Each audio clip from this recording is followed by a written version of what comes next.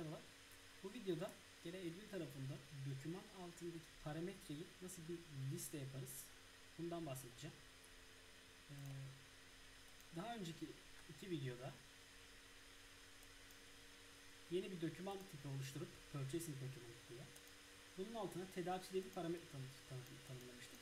Şimdi bu tedarikçi listesi hazırlayacağız ve buradan seçilmesini sağlayacağız. Bunun için browse site utilities giriyorsunuz. Buradan type Network management. Bu listeleri tanımladığımız yer manage global enumerations. Buradan global enumerations'a tıkladım. Bunun altına yeniden bir root oluşturayım.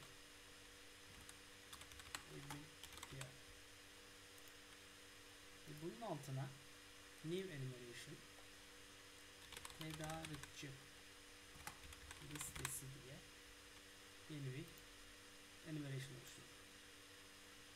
Şimdi buna tıkladığınızda actions edit dediğinizde aşağıda gördüğünüz available for selection ekranında yeni tedarikçileri tanımlayacağız. Buraya intern name tedarikçi alt çizgi bir görünen adına tedarikçi bir apply diyorum bir tane daha oluşturacağım.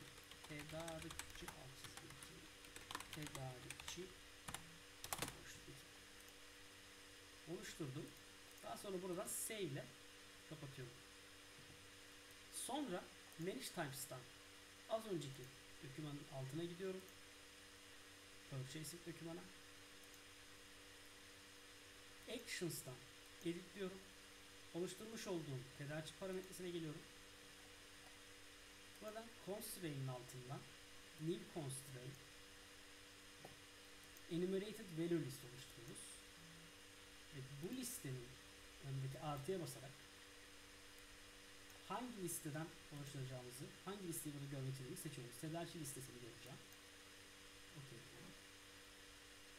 Ee, daha sonra yukarıda e, selection list olarak drop down ve radio button var. Ben drop down menüden seçeceğim. Yani aşağı doğru akan listeden e, radyo butonu şeklinde olmayacak. Okey dedim. Şimdi e, gene herhangi bir product altında